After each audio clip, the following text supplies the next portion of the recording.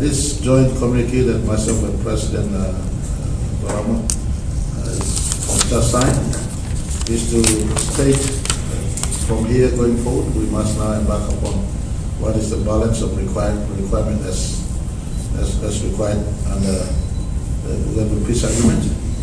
Uh, consequential uh, amendment to Constitution allowed for the events that uh, flowed after the 2001 Peace Agreement, and one of which stands right before us, and I, I point to Section 338 of subsection 1 of the Constitution now. Is invoked upon, and as far as this is concerned, we will now move into the next phase where uh, both PNG government and Bougainville government now go into consultation uh, in as far as what is required of uh, discussing on uh, consultation on the outcome the referendum uh, before the matter is brought into uh, Parliament for Parliament's uh, deliberations and, and Parliament's dispensation. So in the context, we just signed this important joint communique. we can know from noting that President Toroama is the first president uh, in the fifth House of, uh, Representatives, fourth Parliament, uh, the fifth president the fourth Parliament, but more importantly, the Parliament after the referendum uh, was held. So he is now the first president after the referendum was held. It is quite a significant uh, uh, indicator in itself. So it's a serious work that needs to take place between us and the uh, President and his team for us to progress to the next phase. I'd like to point at this juncture, uh, him and me we had conversation. I will be honest on both sides on what is the expectations of greater PNG and rest of PNG. And uh, uh, I think for President Toroama, nothing can be more honest than the expression of people's uh, interest at the vote that took place.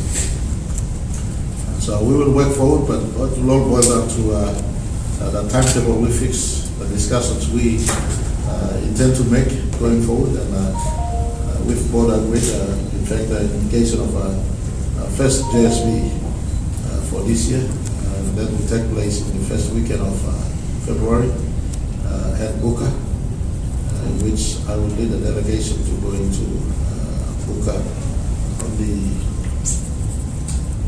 when is the date again? Fifth. Uh, fifth, fourth and fifth of uh, February. We're going to book up for that uh, JSB. Hopefully that will embrace all the issues that we will uh, we need to work on. And we will take the balance of uh, 2021 to work through those issues. And so set the pace for how we PNG deal with Uganda going henceforth. So thank you, Mr. President. I am happy that uh, you are here for us to sign the joint communique. And the rest of the uh, conversation on joint communique is uh, basically attached with our attached press for the benefit of press to fill in the gaps uh, that I may have left here. President, uh, thank you again for coming by and I look forward to uh, coming to Buka once again for us to further progress as well. I would like to thank my counterpart, uh, Honorable Prime Minister James Marape for us being able to look at uh, what would be necessary for uh, both the, the people and uh, your government uh, as we proceed to take on the consultation uh, challenges. It, it, it, really reflects the, uh, the people and the people of Bougainville and the people of PNG. and the challenges will be there but uh, I really uh, understand the process because we've come a long way and uh, by building the trust and confidence, uh, putting our most efforts into this communique will, will, will make the road become lighter and brighter as we travel. Uh, on behalf of uh, people of Bougainville, thank you, Honorable Prime Minister, and as signing the joint agreement. Thank you so much.